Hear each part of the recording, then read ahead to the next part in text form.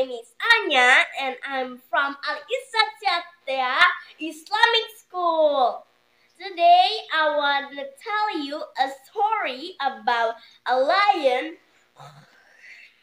and a mouse.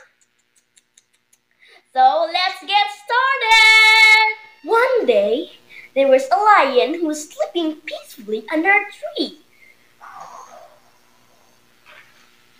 Then there was a cute little mouse walking by the sleeping lion.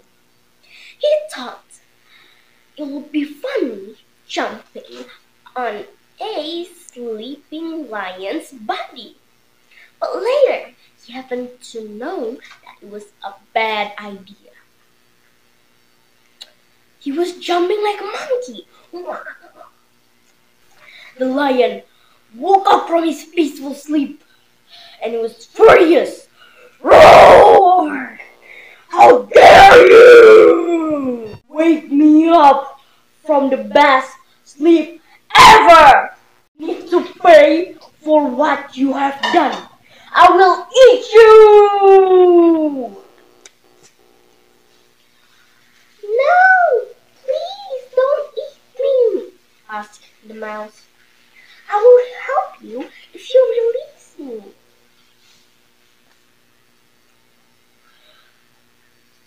You help me?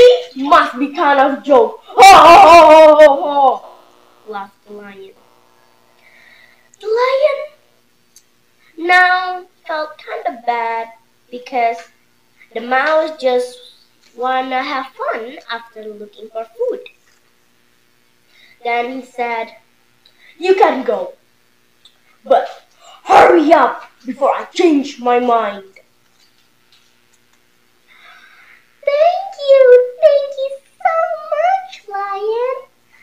I will help you one day as I promised.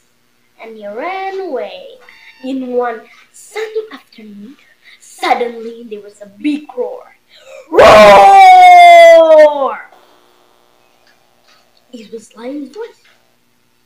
Everyone and every animal curious. What's about the roar? Accidentally, the mouse passed by sleeping lion. The lion was actually trapped in the booby trap of the hunter. He quickly said, I'll help you, lion, as I promised a few days ago.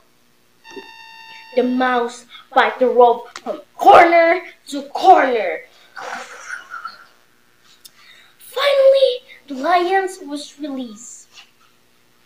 The lion said, Thank you so much, mouse. I will never forget your kindness to me today. And they became best friends forever.